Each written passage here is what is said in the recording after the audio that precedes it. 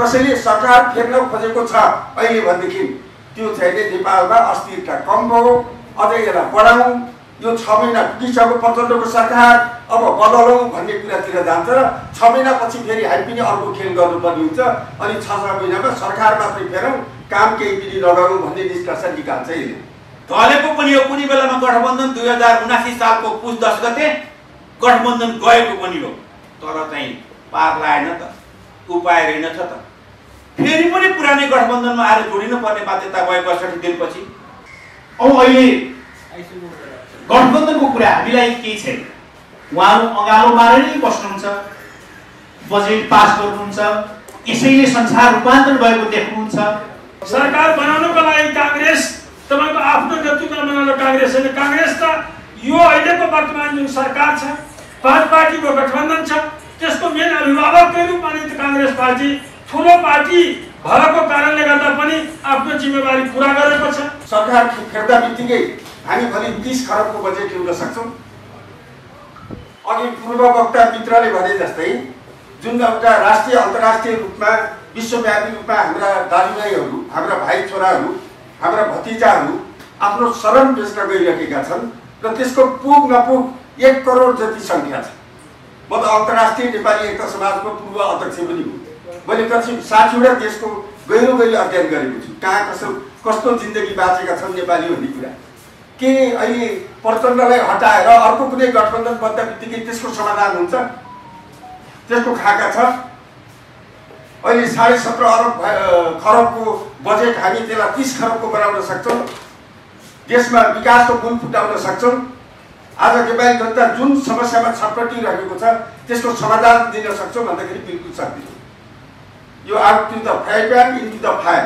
तावाको तापले उफ्रिएको माछा आगोको भुग्रोमा भने जस्तै। हामी अस्थिरताको शिकार हुन्छौँ। र कसैले सरकार फेर्न खोजेको छ अहिले भनेदेखि त्यो चाहिँ नेपालमा अस्थिरता कम भयो अझै यसलाई बढाउँ। यो छ महिना पुगिसक्यो प्रचण्डको सरकार। अब बदलौँ भन्ने कुरातिर जान्छ र छ महिनापछि फेरि हामी पनि अर्को खेल गर्नुपर्ने हुन्छ। अनि छ छ महिनामा सरकार मात्रै फेरौँ काम केही पनि नगरौँ भन्ने निष्कर्ष निकाल्छ यसले। यो अस्थिरताको शिकारतिर जान्छ देश। त्यसकारण मैले विश्वास नगर्दा नगर्दै पनि पूर्व वक्ताले सरकार परिवर्तनको कुरा जोरदार किसिमले उठाएको। हुनाले मैले यो कुरा गरेँ। अब अर्को कुरा के छ भने अब देशको समस्या हल कसरी? हुन्छ मलाई के लाग्छ भन्दाखेरि सबै पार्टीभित्र सबैभन्दा बित्तिकै एमाले पनि त्यही भित्र हुन्छ भित्र पनि। सबै पार्टीले देशको अवस्थामा कसरी परिवर्तन गर्न सकिन्छ भन्ने बारेमा एक दुई तिन दसवटा मुद्दामा हामीले चाहिँ गम्भीर बहस गर्नु जरुरी छ। हामीले समाजवाद समाजवाद भनिरहेका छौँ। जनताहरू समाजवादको चाहिँ ठट्टा गरिरहेका छन् किनभने हामीले सबैले समाजवाद त भनेका छौँ। आउँछ कसरी समाजवाद नेपालमा सम्भव छ समाजवाद म आज तपाईँहरू पत्रकारको अगाडि भन्छु नेपालमा चाहिने हामीले जुन क्लासिकल समाजवादको परिकल्पना गरेका छौँ कम्युनिस्टहरूले मार्क्सको समाजवादी अवधारणा लेनिनले प्रयोग गरेको समाजवाद माओले पनि कल्पना गरेको अहिले पनि चिनमा समाजवाद आएको छैन। नेपाली समाजवाद त चिनमा सराबर भइसक्यो सिद्धियो भन्ने छ। बिल्कुल होइन। उनी समाजवादको निम्ति सङ्घर्ष गर्दैछन् चिनियाहरू। अहिले त म पन्ध्र दिन चिन बसेर आएँ। त्यहाँको सरकारको निम्तामा उनीहरू समाजवादको निम्ति कोसिस गरिरहेका छन्।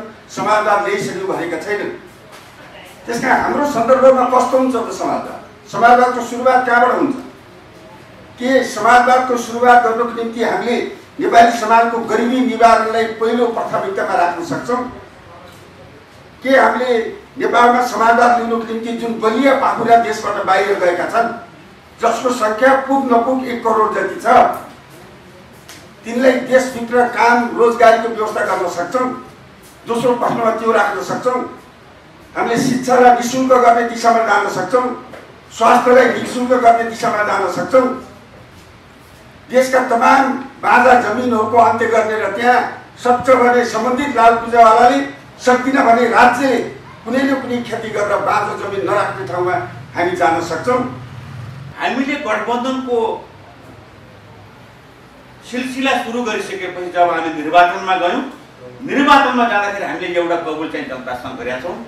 त्यो कबुल के छ भन्दाखेरि तर हिजो हामीले पाएको एक दुईवटा अनुभवहरू के छ भने यो देशमा विगतमा सिङ्गल पार्टीको सरकार बहुमतको बहुमतको मात्रै होइन दुई तिहाई मतको समेत नेपाली जनताले चलाउने मौका दिए।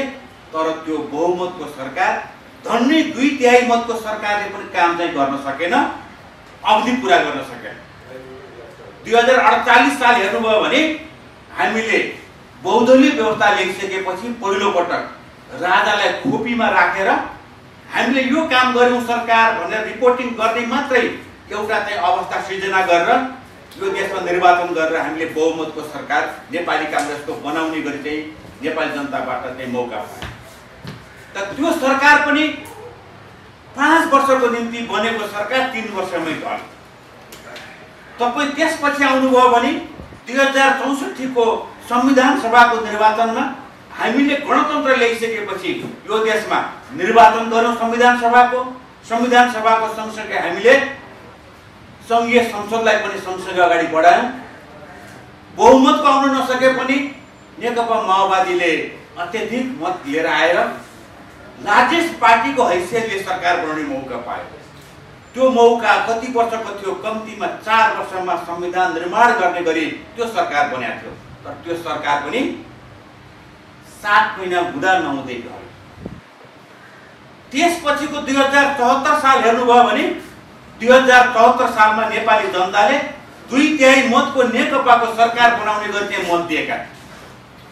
त्यो सरकार पाँच वर्षको निम्ति बनिएको थियो तर पाँच वर्षको निम्ति बनेको सरकार तिन वर्ष कान्छुन हुँदा नहुँदै ढल्यो यसरी नेपालको इतिहासमा एउटै पार्टीले बहुमत लिएर आएको भए पनि त्यो बहुमतको सरकारले देशको निर्माण र चाहिँ आफ्नो अवधि पुरा गर्न सकेको देखिँदैन। यसले के प्रमाणित गर्छ भने अब कतै यो एकल पार्टीको सरकारभन्दा अब गठबन्धनको सरकारको आवश्यकता हो कि राष्ट्रिय सहमतिको सरकारको आवश्यकता हो कि भन्ने कुरो अहिले चाहिँ महसुस भएर सायद त्यसै कारणले होला गठबन्धनमा हामी जानु पर्यो गठबन्धन कुनै रहरले होइन कुनै लहरले होइन गठबन्धन गर्न पर्ने बाध्यता थियो। र हामी गठबन्धन गऱ्यौँ। दुई हजार अठहत्तर साल सम्भवतः जेठ दुई गते एउटा चाहिँ खाका तयार भयो अनि त्यसपछि गठबन्धन अगाडि बढेर हामी स्थानीय निर्वाचन हामीले दुई हजार उनासी सालको वैशाखमा सम्प- सम्पन्न गऱ्यौँ। त्यसै गरी हामीले दुई हजार उनासी सालको मक्सिर चार गते सङ्घीय र प्रदेशको निर्वाचन सम्पन्न गऱ्यौँ गठबन्धन गठबन्धन गर्नुपर्ने एउटा आवश्यकता थियो एउटा बाध्यता थियो। यदि गठबन्धन नभएको भएदेखि सायद हामीले चुनावको चर्चा गर्ने अहिले यो खालको सरकार बन्यो भन्ने अवस्था आउँथ्यो कि आउँथेन? चुनाव हुन्थ्यो कि हुन्थेन? संविधानमा चाहिँ आँट आउने खालको अवस्था सृजना हुन सक्ने सम्भावना अझै ठुलो थियो। तर त्यसलाई चाहिँ हामी गठबन्धनबाट रोकेका। झट्ट हेर्दाखेरि तपाईँले गठबन्धनबाट के उपलब्धि भयो भन्नुभएको पनि होला तर गठबन्धन भइसकेपछि हामीले संविधानको कार्यान्वयनलाई संविधानको अक्षरशः पालनलाई हामीले त्यहाँ पूर्ण पूर्णता दिएका छौँ पुरा गरेका छौँ। आवधिक निर्वाचन हामी सम्पन्न गरेका छौँ। त्यस कारण गठबन्धनले संविधान बचाउने काममा पनि ठुलो एउटा भूमिका खेलेको छ र सँगसँगै हामीले ल्याएको सङ्घीय लोकतान्त्रिक गणतन्त्रलाई सुदृढ गर्ने काममा पनि यस यसले ठुलो भूमिका खेलेको त्यस कारण चाहिँ गठबन्धनलाई हामी यत्तिकै नजरअन्दाज गर्ने अवस्थामा पनि छैन। त्यस कारण चाहिँ हामी अबको काम के हो भन्दाखेरि हामीले कबुल एउटा जनतासँग के गरेका छौँ भने हामी पुराना राजनीतिक पार्टीहरू गठबन्धनमा पनि आएका छौँ एउटा कबुल चाहिँ गरेका छौँ। त्यो कबुलबाट हामी राजनीतिक पार्टीहरू हामी गठबन्धनकारीहरू बाहिर जान सक्दैनौँ। जनताले त्यो छुट अब हामीलाई दिँदैन त्यो भनेको मुलुकको समृद्धिको निम्ति हामीले जनतासँग बाचा गरेका छौँ। अब हामी मुलुकको समृद्धिमा जानै पर्छ। हामीले गयौँ यो देशमा।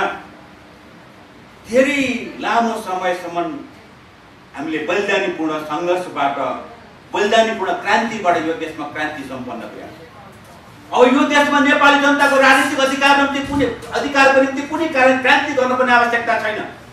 अबको क्रान्ति भनेको यो देशको आर्थिक क्रान्ति। हामीले राखेका छौँ। हाम्रो संविधानमा हेर्नुभयो भने धारा सोह्रदेखि अडचालिससम्म नेपाली जनताको हक अधिकारलाई हामीले सुनिश्चित रूपमा चाहिँ व्यवस्था गरेका छौँ। तर त्यो हक अधिकारलाई प्रयोग गर्नको निम्ति मुलुक समृद्ध हुनैपर्छ मुलुक समृद्ध नभइकन हामीले ल्याएको संविधानका हक अधिकार हामीले प्रयोग गर्न सक्दैन। र धेरै ठुलो पनि भइसकेका छ। हामीले मुलुकलाई समृद्ध बनाउने कुरामा ध्यान दिएनौँ विगतमा। अब दिनुपर्ने आवश्यकता छ। र अहिले अब चाहिँ राजनीतिक पार्टीहरूलाई हामी पुराना राजनीतिक पार्टीहरूलाई यदि हामीले मुलुकको समृद्धिको बाटो समाएनौँ भने मुलुकलाई समृद्ध गर्नेतर्फ योजना बनाउन सकेनौँ भने हामीले मुलुकको अग्रगमनको निम्ति कुनै योजना बनाउन सकेनौँ भनेदेखि अब हामीलाई नेपाली जनताले छोड दिनेवाला छैन। त्यस कारण यो हामी राजनीतिक पार्टीले बुझ्नै पर्छ। त्यस कारण हामी अब यो गठबन्धनबाट मुलुकको समृद्धिको बाटो अगाडि बढाउने हो। हामीले कृषिमा धेरै उत्पादन गर्न सक्छौँ। आज चाहिँ जुन खालको कृषिबाट हामी यो देशमा धन्न एक खरब पैँतालिस अरबको त कृषि सामग्री हामीले आयात गरेका छौँ। त्यो घाटा पूर्ति गर्नको निम्ति हामीको यही उत्पादन गर्न सक्छौँ। त्यसतर्फ ध्यान दिनु जरुरी छ। त्यसै हामीसँग अथाह जलस्रोत छ। जलस्रोतलाई हामी ठिक ढङ्गले यदि चाहिँ उत्पादन गर्न सकेको भएदेखि आज यो अवस्था हुन्थेन आज तपाईँले हेरिरहनु भएको छ हामीले चाहिँ केही वर्ष पहिलेदेखि चाहिँ लोड सेडिङ हटाउँदाखेरि हामीले कतिपयलाई स्याबासी पनि दियौँ सम्मान पनि गऱ्यौँ। तर यो देशमा हामीले जलस्रोत उत्पादन गर्ने कुरोमा ध्यान दिएनौँ। भारतबाट हामीले चाहिँ विद्युत लिएर आएर यहाँको चाहिँ के अरे लोड सेडिङ सोडिङ हामीले हटायौँ। र एक वर्षमा हामीले पैँतिस अरबसम्म हामीले भारतलाई बिजुली ल्याए बापतमा रोयल्टी तिरेका छौँ। त्यस कारण चाहिँ हामी म भन्दैछु त्यस कारण चाहिँ अब यो समृद्धिको बाटोमा त्यसले गरी पर्यटनको हिसाबले पर्यटनको क्षेत्रमा हामी विकास गर्नु छ। हामीसँग अथाह एक खालको चाहिँ खनिज पदार्थहरू छ। खानीहरू छन् हामीसँग त्यसलाई प्रयोग गर्छ र हामीलाई मुलुकलाई समृद्ध बनाउनु छ त्यस कारण चाहिँ अबको यो सङ्घीय सरकार अथवा यो गठबन्धनको सरकारको मुख्य उद्देश्य भनेको मुलुकलाई समृद्धिको बाटोमा लैजाने हो। त्यस कारण चाहिँ म यो कुरा पनि यहाँ राख्न चाहन्छु। र सँगसँगै अहिले चाहिँ अनेक खालका प्रचारहरू गरिराखेका छ र मुलुकमा अझै पनि अस्थिरता ल्याउने कोसिस भइरहेका छ। आफ्नै पार्टीका जिम्मेवार मान्छेहरूले पनि यो गठबन्धनको विषयमा चाहिँ अनेक खालको आलोचना गर्ने। अहिले मात्र होइन स्थानीय तहको निर्वाचनमा समेत उहाँहरू गठबन्धनको विरुद्धमा उत्रिनु भयो र आफ्नै नेताको अनेक खालका चाहिँ आलोचना गर्नुभयो। अहिले पनि त्यो खालको प्रवृत्ति हामीले देखिरहेका छौँ। तर ती के भयो त्यो प्रवृत्ति हिजो त्यो गठबन्धनको विषयमा चाहिँ आलोचना गर्ने साथीहरूले आलोचना गर्दै रहनुभयो यतापट्टि गठबन्धन आफ्नो ढङ्गले अगाडि बढ्दैन। स्थानीय चुनाव चाहिँ गठबन्धनबाट सम्पन्न गर्यौँ। सङ्घीय र प्रदेशको चुन- निर्वाचन पनि हामीले सङ्घ के अरे गठबन्धनबाट सम्पन्न गर्यौँ। र अहिले पनि उहाँहरू बोल्दै रहनु भएको छ। अरू कुनै पार्टीसँग फेरि पनि गठजोड गरेर चाहिँ यो अहिलेको चाहिँ गठबन्धनलाई तोड्नुपर्छ भन्ने कुरा पनि आएको छ। त्यो कुनै सम्भव छैन।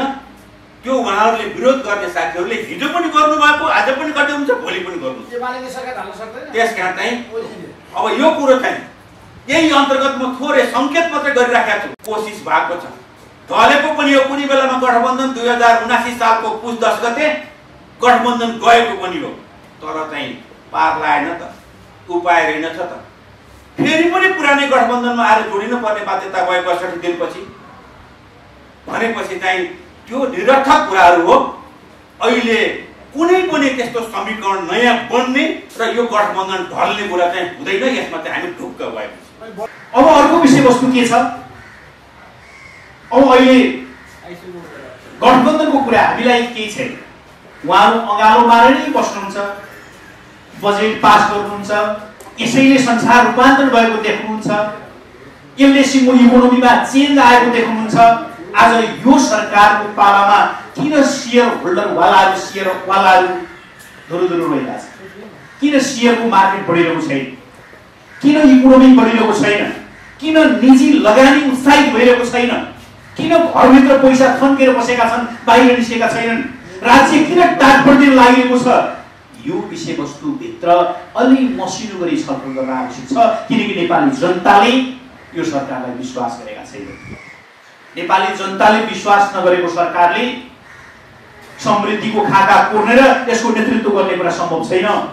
भलै यो अङ्कगणितीय खेल। हो मैले फेरि पनि भने नेपाली काङ्ग्रेसभित्र नेतृत्व गर्ने आकाङ्क्षाको आँकुरा नपलाउँदासम्म यो सरकार निरन्तर जान्छ। चलोस् शुभकामना चाहन्छु हामी यसको कुनै सेयर होल्डरवाला होइन अब अघि मोर्चाको कुरा उठ्यो। मोर्चा त के? शक्ति हुँदा मोर्चा चाहिएको होइन शक्ति सानो सानो भएपछि शक्ति पुगेन मोर्चा बनायो। अरू के कुरा छ? अब मोर्चाभित्र तपाईँ मोर्चा बनाउँदै गर्नुहोस्। तपाईँको पार्टीको रक्षा गर्नुहोस् राम्रो गरी तपाईँका पार्टीका कार्यकर्ता मोर्चाभित्र अड्छन् कि अड्दैनन्? दिन प्रतिदिन मोर्चाभित्रका राजनीतिक दलहरू भत्केको भत्कै छन् भत्केकालाई जोगाउनुहोस्। छेक्नुहोस् काँटाहरूले छेक्नुहोस् त्यो चाहिँ शुभकामना नभए तपाईँको पार्टी मोर्चा फेरि मोरे चोकेर जस्तो मोर्चा होला। त्यो चाहिँ नहोस्। प्रतिनिधि सभाको जुन गणितीय जुन हिसाब छ त्यो हिसाबले पनि गठबन्धन निश्चित रूपमा सरकार बनाउनको लागि गठबन्धन नै आवश्यक पर्छ। र अहिलेको गठबन्धनको सरकार यो सरकार बनाउनको लागि मात्रै गठबन्धनको एउटा समूह बनेको होइन। यो गठबन्धन नेपालमा एउटा राजनीतिक स्थिरताको लागि यो गठबन्धनको एउटा लक्ष्य राजनीतिक लक्ष्य छ। त्यो लक्ष्य प्राप्ति गर्नको लागि र खास गरिकन राजनीतिक स्थिरता र देशको विकास निर्माणका कुराहरूलाई देशका हरेक क्षेत्रमा प्रगतिको लागि अगाडि बढाउनको लागि नै वर्तमान गठबन्धन कायम भएको छ। सङ्घीय लोकतान्त्रिक गणतान्त्रिक संविधानको अनुसार पहिलोचोटि निर्वाचन हुँदाखेरि यहाँलाई थाहा भएकै कुरा हो निर्वाचन पछि जुन सरकार बनेको थियो केपी ओलीजीको नेतृत्वको सरकार त्यो सरकारलाई मात्र होइन कि वर्तमान संविधानले नै विकल्प हुँदासम्म के अरे जबसम्म यो सरकारमा को विपक्षमा बहुमत जाँदैन। यो सरकार जबसम्म स्थिर जस्तो रहन्छ। तबसम्म सरकारले प्रतिनिधि सभाको विघटन गर्न पाउँदैन भनेर संविधानमै व्यवस्था छ। तर साढे तिन वर्षपछि केपी ओलीजीले जुन प्रतिनिधि सभाको दुई दुईचोटि विघटन गर्नुभयो त्यो विघटनको कारणले गर्दा नै वर्तमान गठबन्धनको उपज भएको छ। यो उपज राजनीतिक स्थिरताको लागि। त्यस कारणले गर्दा मलाई लाग्दछ मलाई लाग्दछ होइन आम जनताको विश्वास छ आम जनताको भरोसा छ कि यो गठबन्धन राजनीतिक स्थिरताको लागि हो र यो गठबन्धन यो पाँच वर्ष त कुनै पनि हालतमा निश्चित रूपमा यो मुलुकको राज्य सञ्चालनमा नेतृत्वदायी भूमिका निर्वाह गर्छ भन्ने मलाई विश्वास छ। अहिले विभिन्न किसिमको टिका टिप्पणीहरू बजारमा भइरहेको छ। स्वाभाविक हो मुलुकमा बहुदलीय व्यवस्था छ लोकतान्त्रिक शासन व्यवस्था छ। यो शासन व्यवस्थामा कुनै कुरा एउटा पार्टीमा एउटा परिवारमा जसरी सबै कुराबाट चित बुझ्दैन राजनीति त सरकार हो विभिन्न पार्टीहरूको सरकार हो विभिन्न दलहरूको प्रतिनिधि सभाको तल हो। त्यसमा आफ्ना आफ्ना विचारहरू आफ्ना आफ्ना धारणाहरू राख्ने स्वतन्त्रता हरेक राजनीतिक पार्टीको हरेक राजनीतिक साथीहरूको छँदैछ। त्यस कारणले गर्दा आफ्नो आफ्नो कुराहरू राखिरहनु भएको होला व्यक्त गरिरहनु भएको होला आफ्नो ठाउँमा छ तर मलाई लागिरहेछ भर्खर भर्खर सरकार बनेको छ यो सरकार यो मुलुकको लागि स्थिरता दिन्छ यो स्थायित्व हो र हाम्रो बिचमा जुन तिन राजनीतिक पार्टीको बिचमा सम राजनीतिक सहमतिहरू भएको छ निश्चित रूपमा यो सबै पार्टीहरू एक ठाउँमा भएपछि एउटा समूह बनेको छ। र यो समूह बन्नेको एउटा उद्देश्य छ एउटा विचार छ भोलिको एउटा बाटो कोरिएको छ चित्र छ। र त्यो पुरा गर्नको लागि त्यो बाटोमा अगाडि बढ्नको लागि राजनीतिक स्थिरता चाहिन्छ र त्यसको लागि हाम्रो बिचमा जुन सहमतिहरू भएको छ त्यो सहमतिबाट नेपाली कङ्ग्रेस मलाई लाग्दछ दायाँ बायाँ पटक्कै हुँदैन र स्थिर रूपमा अगाडि बढ्छन्। भन्ने मलाई विश्वास छ। आज कुनै पनि मुलुकमा दुईटा पक्ष हुन्छ। एउटा सत्ता पक्ष अर्को प्रतिपक्ष प्रतिपक्ष भनेपछि निश्चित रूपमा त्यो राम्रै कुराको लागि हुन्छ। सकारात्मक कुराको लागि हुन्छ। सत्ता पक्ष यदि गलत बाटोमा गइरहेको छ भने शान्तिपूर्ण तरिकाबाट सब तरिकाबाट लोकतान्त्रिक संविधानले दिएको अधिकारको अनुसार प्रतिनिधि सभाको बैठकमा या आफ्नो कुनै पनि ठाउँमा आफ्ना धारणाहरू राख्ने तपाईँको निश्चित रूपमा बहुदलीय व्यवस्थाको प्रजातान्त्रिक शासन व्यवस्थाको संविधानको तपाईँको यो विशेषता नै हो। र यहाँको प्रतिपक्षहरूको बारेमा अहिले प्रतिनिधि सभामा पनि जुन कुराहरू सुनिरहेका छौँ यहाँले पनि सुनिरहनु भएको छ। म त त्यही प्रतिनिधि सभाको सदस्य नै छु। यो अहिले जुन दुई हजार एका र एकासीको वर्तमान सरकारबाट जुन बजेट आएको प्रस्तुत भएको छ अब भोलिदेखि हामी बजेटको पाँचौँ चरणमा प्रवेश गर्छौँ। पहिलोचोटि प्राथमिकता र सिद्धान्तको सरकारबाट भयो। त्यसपछि नीति र कार्यक्रम आयो। त्यसपछि अर्थ मान्य अर्थमन्त्रीज्यूबाट बजेट प्रस्तुत भयो। त्यसपछि अहिले मन्त्रालयगत छलफल चलिरहेको छ। अब भोलिबाट फेरि अब मन्त्रालयगत सम्बन्धित मान्य मन्त्रीज्यूहरूले त्यसको जवाब दिने कार्यक्रम छ र त्यसपछि पास यसपछि अब अन्तिममा जान्छ। त्यस कारण यो बजेटको बारेमा अहिले मलाई लाग्दछ दुई हजार अडतालिस सालपछि हुन त म पनि तिनचोटि सांसद जितेर नै आएको छु र योभन्दा धेरै राम्रो पहिलेको बजेट प्रस्तुत हुन्थ्यो भन्ने पनि छैन खालि मात्र विरोधको लागि विरोध जनतामा एउटा सस्तो लोकप्रियता आर्जन गर्ने दृष्टिकोणले व्यक्त गर्दै आउनु भएको छ योभन्दा पहिले पहिलेको प्रतिनिधि सभाको निर्वाचन पछिको जुन सरकार थियो त्यो सरकारको बेलामा कस्ता किसिमको एउटा हावामा कस्तो किसिमको सस्तो लोकप्रियतावाला बजेटहरू प्रस्तुत गरिएको थियो घर घरमा तपाईँको ग्यास चुल्हा पुर्याइदिन्छु पानी जहाज चलाइदिन्छु फलान ठाउँमा रेलमार्ग बनाइदिन्छु विभिन्न किसिमका कुराहरू गरेका बजेटमा आएको थियो तर बजेट त तपाईँ कार्यान्वयन मात्र भयो मलाई लाग्छ अहिले दुई हजार अस्सी एकासीको बजेट छ मान्य अर्थमन्त्रीज्यू पढे लेखेको हुनुहुन्छ उहाँ पहिलोचोटि अर्थमन्त्रीको जिम्मेवारी पाउनु भएको छ सकेसम्म मलाई निश्चित रूपमा हुन त मान्य अर्थमन्त्री या भौतिक गोयना मन्त्रीहरू जुनसुकै बेला पनि अलिकता तलमाथि आफ्नो निर्वाचन क्षेत्र आफ्नो जिल्लाहरूमा अलि अलिअलि त भइहाल्छ होला। यसपालि पनि भएको आफ्नो ठाउँमा छ। तर यो बजेट मलाई लाग्छ पहिले योभन्दा पहिलेको बजेट भन्दा अलिकता राम्रो नै छ। कृषि क्षेत्रमा नै तपाईँको पहिलेभन्दा राना रासायनिक मलमा दोबर बजेट छुट्याएको छ। हरेक क्षेत्रमा भएको त्यसले मलाई लाग्दछ अब छ कुराहरू आइरहेको छ। मलाई त्यसै कारण त्यति नराम्रो बजेट छैन।